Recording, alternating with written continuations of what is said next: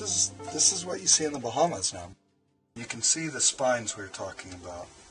Mm-hmm. And see how sharp those things are? So that's definitely not something you'd want to get stuck with.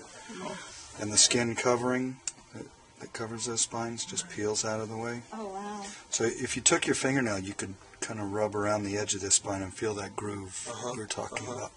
The venom denatures fairly quickly, mm-hmm. but it's temperature dependent. Mm-hmm. So the longer they're on ice or if they're frozen, you're preserving the venom. Okay. Cooking would denature it. It can't stand heat, so that would. You could even leave the spines on and cook it, and there's no.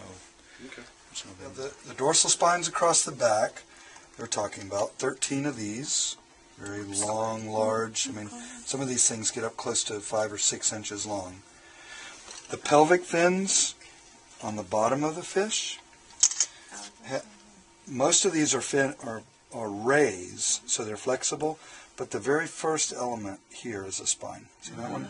So on either side on the bottom, and then the anal fin down here has three short spines. Fish fins typically have spines and rays. And rays are soft and flexible, and the spines are stout. And the spines are what are venomous on the, on the lionfish. Then the heads, since they're members of the scorpion fish family, are really bony. You can see or feel the cheeks on that.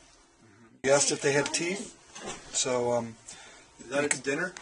that's the last thing many fish see before they disappear. Okay, so you can see, you know, when this fish opens its mouth up wide, there's quite a lot that could go in there. Is, is that a fish? That's a fish in its mouth.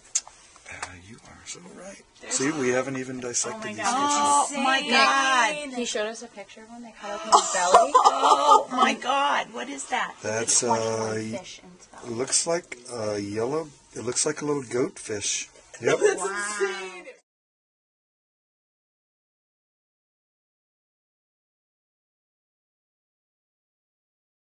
couple things that can be done. Um, a, a lot of people, especially in the islands, like to eat their fish whole. So you would just you would just gut it and then scale it. The scales come off very easily when you scale the fish, and they're and they're very small. I don't want to get them all over the kitchen, but Oh no, there's worse. so you can see the, the scales are really small scales, and they mm-hmm. come off really easily. So you could scale it, gut it, and then fry it whole, or many ways to prepare a whole fish. It uh, looks like he's got some stuff on his gut. He might still, or she. We don't know. We'll see. We'll get there. um, I like to fillet the fish that are larger like this, and then you can use the fillets however you want. So, so when we fillet, well, a couple other things. People that are nervous about handling the fish because of the spines, just take a pair of scissors, Cut it right off. cut them right off. It's really simple to cut these spines off, and, and you just cut them off anywhere down here near the base. As we mentioned, there's no venom gland at the bottom of the spine, so it's not like you have to avoid cutting something. Even if you just cut the spines off halfway, they're blunt, and you're not going to stick yourself with them. Oh.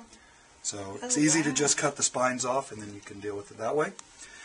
Uh, I've handled these a lot, and typically when you fillet a fish, they're flat, and the spines lay flat as well. So you don't have to take them off, and as long as you watch what you're doing, you don't. There's not that much to worry about. All right. So when I fillet, I like to. Most of the meat is up here in the back. There's not. The stomach is usually pretty thin as far as meat go. Meat goes. So I like to try to get as much as I can from the top.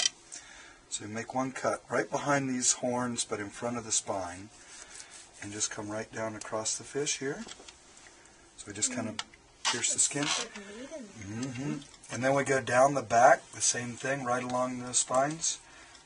So come right down the back, this way. And then the same thing on the stomach of the fish, from this cut, the first cut I made, down to the tail.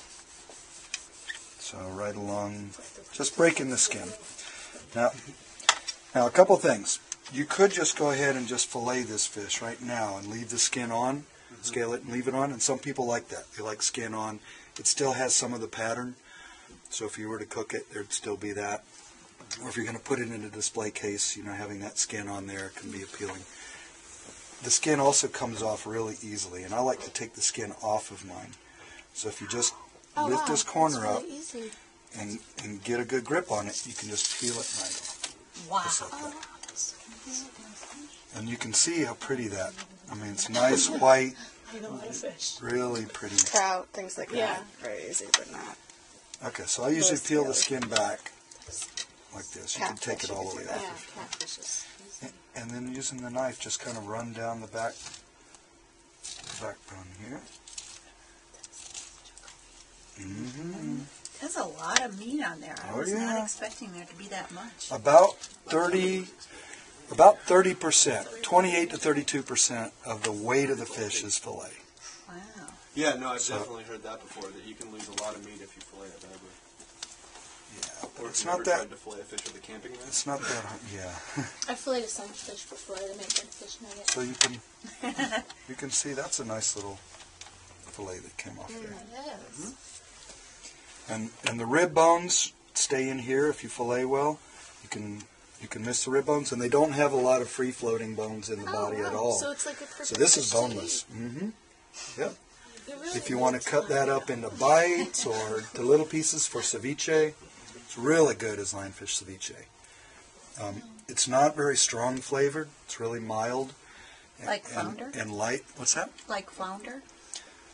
Kind of like flounder, a little more like grouper or hogfish okay. as far as the taste goes. Oh, yeah. fish But, but it's not a strong flavored fish, so you can season it many different ways, and lots of ways to season it, and it really takes that well.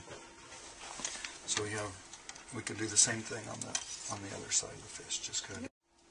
What else? I want to see what's in the gut. Oh, I knew somebody wanted to say that.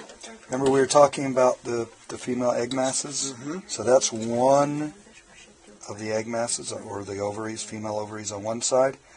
And if we look on the other side of the stomach, we'll see another one of those over here. Wow. So that's, those are egg masses Are that she those would have just ready to spawned. be? Not quite ready. just in She, it would still be a bit more hydration. They, they hydrate a lot before they spawn. Is So maybe in another day or two. Oh, wait.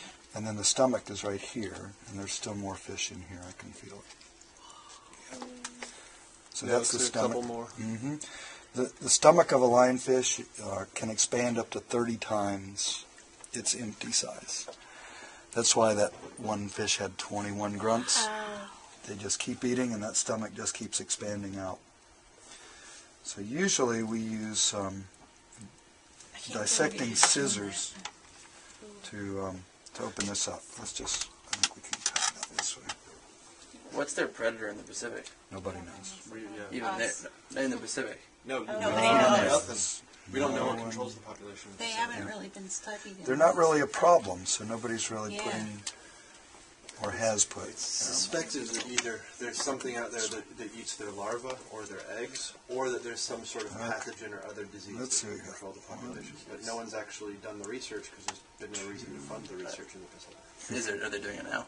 They're, well, they're trying They're to trying. figure stuff out for the Atlantic, but it's it's Those are expensive and the babies? situation's changing mm-hmm. very, very quickly. These are No, these fish. are Okay. These are other These are- That fish was really larvae. a stupid question. These are all wrasses. No, no, it wasn't. We just learned about how they That's right. They don't egg do babies, they do eggs. So these are one, two, three, four, five, six wrasses. Oh. Did that? I like So we had a nice sized goatfish and six wrasses that came out of that stomach.